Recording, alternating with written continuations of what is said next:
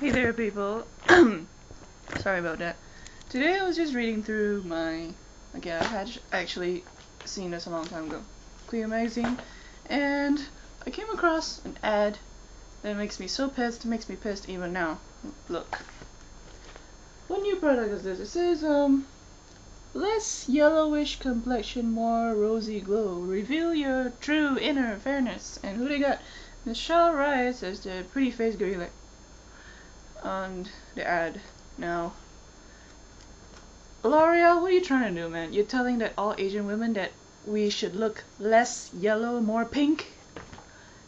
Does this ad seem even a little bit racist to you? I, I don't want to say it, I hate to say it, but come on, man. You're making us women feel bad about something that we cannot change. Okay, we're born with yellow skin tone.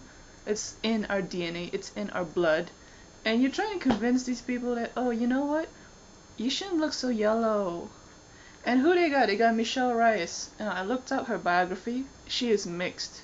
Her dad is Portuguese, her mom is Chinese. I mean, obviously, she would have not so pure yellow color. Obviously, she would be more pinkish because she's mixed. And you're like telling the rest of Asian women, you know, you should try to look more like her. Duh, that's not possible. I mean, come on. Come on, what is wrong with you? Telling people to, to be white, fair, pink, less yellow. I mean, if the ad says make you look less gray or less sick, it probably makes more sense because you look, I don't know, more healthy after using this product. Even if you were gray, I suggest you don't buy this. You just get better diet exercise, and watch your lifestyle. You'll look healthy in no time, okay? And this ad is just sickening. I'm so mad right now at this ad. Come on, man. I even forgot what I want to say. What do you think of this? Reveal your true inner fairness. Sorry, too mad. Any logical thinking woman would know that this product is whack. I mean, we were born with yellow skin. It's in our DNA. I got yellow skin. I'm fine with it.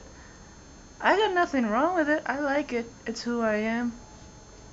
And sad thing is, young girls are gonna see this ad and gonna think, oh, I'm not pretty enough because I'm not pink enough.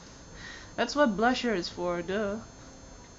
And I just hate it when people tell you to be less of yourself, especially when it's something you have no control over.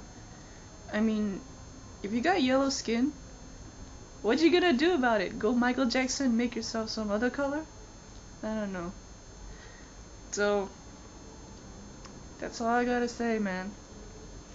I hate L'Oreal, but I can't boycott you because you own like the body shop, you own this, you own that, so it's impossible to boycott you. But if you come up with this kind of products again, I'm gonna tell everyone you're freaking racist. Peace.